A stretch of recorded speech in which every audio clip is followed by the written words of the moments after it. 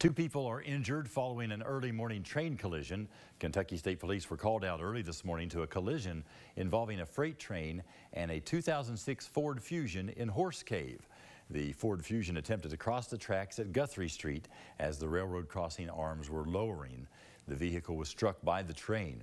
The operator and passenger of the Ford Fusion were both airlifted to the University of Louisville Hospital where they will be treated for their injuries.